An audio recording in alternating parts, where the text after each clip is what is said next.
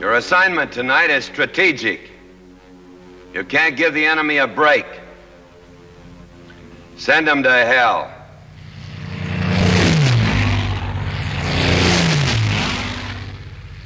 That is all.